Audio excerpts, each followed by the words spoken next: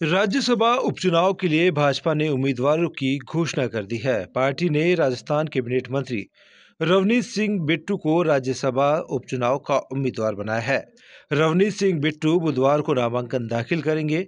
मालूम हो कि राजस्थान में राज्यसभा की एक सीट के लिए चुनाव होना है। यह सीट कांग्रेस के राज्यसभा सांसद रहे के सी वेणुगोपाल के। लोकसभा चुनाव जीतने के बाद खाली हुई थी।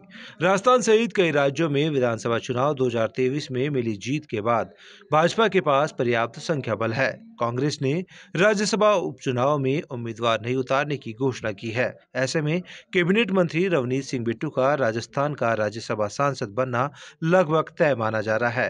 वहीं भाजपा ने मंगलवार को राजस्थान सहित नौ सीटों पर होने वाले राज्यसभा उपचुनाव के लिए उम्मीदवारों की घोषणा की है। इसमें राजस्थान से रवनीत सिंह बिट्टू का नाम शामिल है। बताते चले की राजस्थान से भाजपा ने जिस रवनीत सिंह बिट्टू को राज्यसभा का उम्मीदवार बनाया है, वो लोकसभा चुनाव 2024 में लुधियाना सीट से लड़े थे।